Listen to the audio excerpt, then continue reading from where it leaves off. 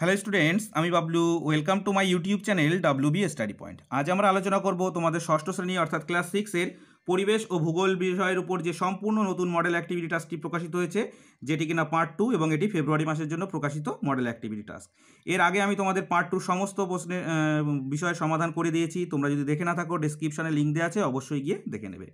তো চলো আজকের ভিডিও শুরু করা যাক। তো দেখো ভূগোল বিষয়ের জন্য যে সমস্ত প্রশ্নগুলো তোমাদের দেওয়া হয়েছে, তার সঠিক সমাধান আমি তৈরি করে নিয়েছি। তোমরা ভিডিওটি শেষ পর্যন্ত দেখো এবং ভালোভাবে বুঝে নিয়ে খাতায় লিখে নাও। তো চলো, উত্তরগুলি দেখে নিই। একে আছে, বিকল্পগুলি থেকে ঠিক উত্তর নির্বাচন করে লেখো। এক দশমিক একে আছে, যে গ্রিক পণ্ডিত প্রথম পৃথিবীর গোলাকৃতির কথা বলেন, তিনি হলেন ক, প্লেটো, খ, অ্যারিস্টটল, গ, এরাটোনস্থেনিস আর ঘ, ম্যাগেলান। তাহলে আমাদের সঠিক উত্তরটি হয়ে যাবে কি? অ্যারিস্টটল। তোমরা এভাবে লিখবে। যে গ্রিক পণ্ডিত প্রথম পৃথিবীর গোলাকৃতির কথা বলেন, তিনি হলেন অপশন খ দিয়ে অ্যারিস্টটল। এরপর এক দশমিক দুয়ে লিখবে, সাড়ে তেইশ ডিগ্রি উত্তর অক্ষরেখা যে নামে পরিচিত তা হলো ক, কর্কট ক্রান্তি রেখা, খ, মকর ক্রান্তি রেখা, গ, সুমেরু বৃত্ত রেখা, ঘ, নিরক্ষরেখা। আমাদের সঠিক উত্তরটি হয়ে যাবে কর্কট ক্রান্তি রেখা। তো এক দশমিক তিনে আছে, দেখো, পৃথিবীর অক্ষ তার কক্ষতলের সঙ্গে যত ডিগ্রি কোণে হেলে অবস্থান করে, তার মান হলো ক শূন্য ডিগ্রি, গ নব্বই ডিগ্রি, ঘ, গ সাড়ে তেইশ ডিগ্রি এবং ঘ সাড়ে ছেষট্টি ডিগ্রি। তাহলে আমাদের সঠিক উত্তরটি হয়ে যাবে সাড়ে ছেষট্টি ডিগ্রি। তো চলো এই প্রশ্নগুলোর উত্তর আমি তোমাদের বইতে দেখিয়ে দিচ্ছি, তোমরা কোথায় পেয়ে যাবে। তো দেখো, তোমাদের প্রথম যে প্রশ্নটি ছিল, সেই প্রশ্নের উত্তর তোমরা সতেরো নম্বর পেজে পেয়ে যাবে। দেখো, এখানে আছে, গ্রিক দার্শনিক অ্যারিস্টটল চন্দ্রগ্রহণের সময় চাঁদের উপর পৃথিবীর গোলাকার ছায়া দেখে বলেন পৃথিবী গোলাকার, ঠিক আছে? এবার দেখো এক দশমিক দুইয়ের যে প্রশ্নটি ছিল, তার উত্তরটি তোমরা কুড়ি নম্বর পেজে পেয়ে যাবে। তো দেখো এখানে আছে, সাড়ে তেইশ ডিগ্রি, সাড়ে তেইশ ডিগ্রি উত্তর অক্ষরেখা কি? কর্কট ক্রান্তির রেখা নামে পরিচিত। এক দশমিক তিনের প্রশ্নের উত্তরটি এখানে পেয়ে যাবে, দেখো, সাড়ে ছেষট্টি ডিগ্রি কোণে থাকে। যে অক্ষরেখা, কাল্পনিক অক্ষরেখা কত? সাড়ে ছেষট্টি ডিগ্রি কোণে অবস্থান করছে। এরপরে আছে, দেখো, দুই দশমিক একে বাক্যটি সত্য হলে ঠিক এবং অসত্য হলে ভুল লেখো। দুই দশমিক এক দশমিক একে আছে, চন্দ্রগ্রহণের সময় চাঁদের উপর পৃথিবীর ছায়া বৃত্তাকৃতির হয় না। তো এটি ভুল হয়ে যাবে। কেন ভুল হয়ে যাবে? দেখে নাও। তো দেখো, সতেরো নম্বর পেজে আগেই আমি দেখিয়েছি, দেখো, গ্রিক দার্শনিক অ্যারিস্টটল চন্দ্রগ্রহণের সময় চাঁদের উপর পৃথিবীর গোলাকার ছায়া দেখেন। অর্থাৎ দেখো, গোলাকার ছায়া তাহলে বৃত্তাকৃতি হয়, সেই জন্য এটি আমাদের ভুল হয়ে যাবে। এবার দেখো বলেছে, পৃথিবী তার নিজের অক্ষের চারিদিকে পূর্ব থেকে পশ্চিমে আবর্তন করে। তো এটিও হয়ে যাবে আমাদের ভুল। ঠিক আছে? এরপর আছে দেখো, দুই দশমিক দুইয়ে একটি বা দুটি শব্দে উত্তর দাও। দুই দশমিক দুই দশমিক এক, পৃথিবীর আকৃতি কীরকম হলে সব জায়গায় একই সময়ে সূর্যোদয় হতো? তো চলো উত্তরটি আমরা দেখে নিই। তো দেখো, সতেরো নম্বর পেজে এইভাবে দেখতে পাবে পৃথিবী চ্যাপ্টা সমতল হলে সব জায়গাতেই একই সময় সূর্যোদয় হতো। তাহলে তোমরা উত্তরটি লিখবে, পৃথিবীর আকৃতি চ্যাপটা সমতল হলে সব জায়গাতেই একই সময় সূর্যোদয় হতো। এরপরে আছে দেখো, দুই দশমিক দুই দশমিক দুই, পৃথিবীর কোথায় দাঁড়ালে তোমরা বা তোমার সব দিকই দক্ষিণ দিক হবে? তো এটি হয়ে যাবে আমাদের উত্তর মেরুতে। তাহলে তোমরা উত্তরটি লিখে নেবে, পৃথিবীর উত্তর মেরুতে দাঁড়ালে সব দিকই দক্ষিণ দিক হবে। এরপরে আছে দেখো দুই দশমিক দুই দশমিক তিন। গ্রিনিচের মান মন্দিরের ওপর দিয়ে বিস্তৃত দ্রাঘিমা রেখার নাম লেখো। তো এটি হয়ে যাবে আমাদের মূল মধ্য রেখা তাহলে উত্তরটি এভাবে লিখবে, গ্রিনিচের মান মন্দিরের ওপর দিয়ে বিস্তৃত রেখাটির নাম হলো মূল মধ্য রেখা ঠিক আছে? এরপরে আছে দেখো তিনে, নিচের প্রশ্নগুলির সংক্ষিপ্ত উত্তর দাও।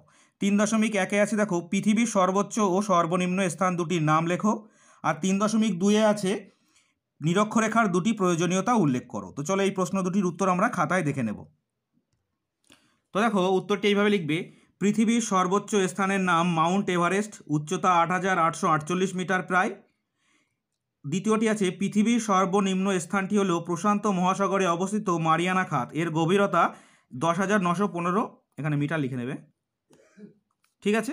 তাহলে সর্বোচ্চ স্থানটি হলো আট হাজার আটশো আটচল্লিশ মিটার, যেটি মাউন্ট এভারেস্ট, এবং সর্বনিম্ন স্থান হলো প্রশান্ত মহাসাগরে অবস্থিত মারিয়ানা খাত।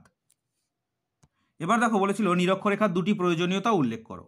তো এভাবে লিখবে নিরক্ষরেখার প্রয়োজনীয়তা নিম্নরূপ। এক নম্বর দিয়ে লিখবে, অক্ষাংশ নির্ণয়।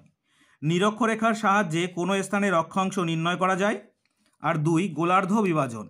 এভাবে লিখবে, নিরক্ষরেখা পৃথিবীর মাঝ বরাবর পূর্ব পশ্চিমে বিস্তৃত হয়ে পৃথিবীকে উত্তর ও দক্ষিণ গোলার্ধে বিভক্ত করেছে। ঠিক আছে? এবার দেখো, চারে বলেছে, নিচের প্রশ্নটির উত্তর দাও, তিন নম্বর। একটি বৃত্ত অঙ্কন করে তিনটি গুরুত্বপূর্ণ অক্ষরেখা চিহ্নিত করো। তো চলো তোমাদের বইয়ের কুড়ি নম্বর পেজে আমরা এটি দেখে নেব। দেখো, তোমাদের বইয়ের কুড়ি নম্বর পেজে কুড়ি নম্বর পেজ এখানে দেখো যে সুন্দর করে একটি বৃত্ত আঁকা আছে এবং এর মধ্যে তোমাদের চিহ্নিত করে দেওয়া আছে সুমেরু বৃত্ত রেখা কর্কট ক্রান্তি রেখা, নিরক্ষরেখা, মকর ক্রান্তি রেখা আর কুমেরু বৃত্ত রেখা তোমরা এই ছবিটি সুন্দর করে পেন্সিল কম্পাসের সাহায্যে আঁকবে।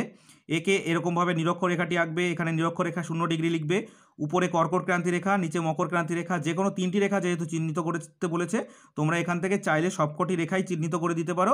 আর যদি তোমাদের সবকটি রেখা আঁকতে সমস্যা হয়ে থাকে, তো তোমরা যে কোনো তিনটি রেখা এখান থেকে একে চিহ্নিত করে দেবে, ঠিক আছে?